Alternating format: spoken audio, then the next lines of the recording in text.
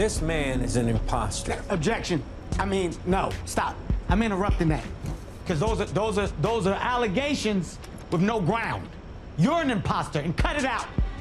I need to speak to the client. I need to speak to the client too. You're just gonna parrot everything I Are say? you just gonna parrot everything I say?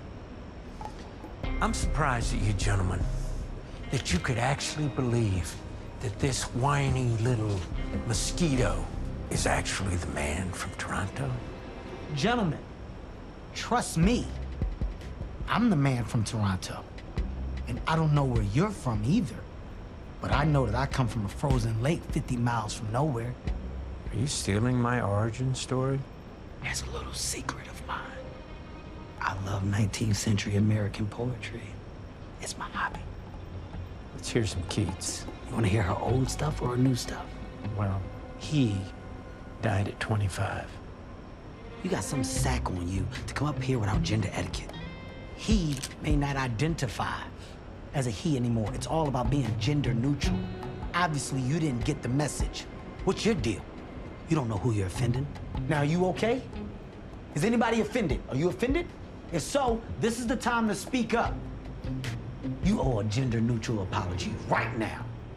I apologize, gentle people. I don't have to do what you tell me to do. You ain't the boss of me.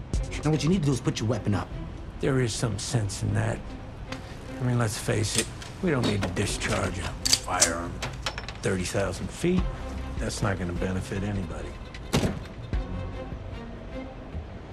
You damn right it's not. Who's the man from Toronto now? This is on you. Huh? Wait, wait, wait, wait! Don't shoot me, shoot him! Get the ball guy! Hit him! Hit him, grab! Ah! Shoot him! Oh, God! Oh, no, no, no, no, no. Stop, stop, stop. Thanks for watching Netflix Film. Subscribe to our YouTube channel to get the latest exclusive videos. Plus, hit the bell so you don't miss a single one.